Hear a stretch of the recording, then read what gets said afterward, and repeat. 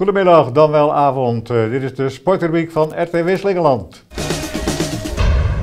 De voetballers die beginnen langzamerhand een beetje te ontwaken uit hun zomervakantiecoma. En dus zijn er al een paar oefenwedstrijden gespeeld. Dit zijn de uitslagen. Bredevoort tegen FC Winterswijk zaterdag 2-3. Winterswijk zondag tegen GWVV 2-0. MEC tegen FC Eibergen 1-6.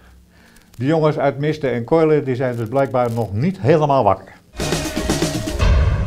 Hardlopers die gaan altijd maar stug door en op dinsdag 5 augustus organiseert de atletiekvereniging Argeus weer de Koopman Bergrun. Dat is uh, de voormalige vuilnisbelt op- en afrennen. De atleetjes tot 12 jaar die liepen 1,6 kilometer. Bij de meisjes won Marit Klein-Bussink en bij de jongens Nick Nijman. Nieuw was de afstand over 3,1 kilometer.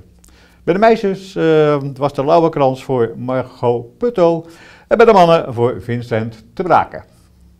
Het hoofdnummer, de 7,6 kilometer, werd bij de vrouwen een prooi voor Christiane Kemkes. En bij de mannen liet Koen iedereen zijn hielen zien.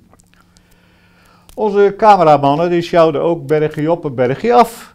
En het resultaat hiervan kunt u zien in de volgende reportage.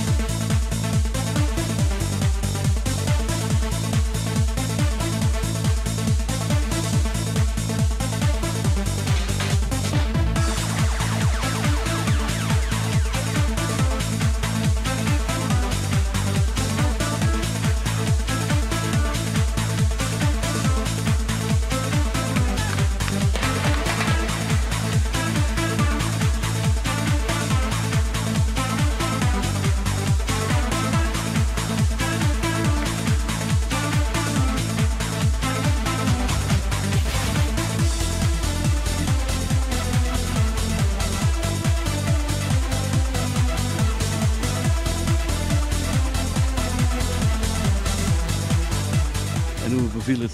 Mooi. Is het mooi toch? Oh, pittig, heel pittig. Het is een heel mooi rondje. Het is echt een cross om maar zo te zeggen, in de zomerdag. Ja, Maar dat is voor herhaling vatbaar zo? Ja, ja. Zo echt zo'n tussenafstand. Binnen van de Hartstikke mooi.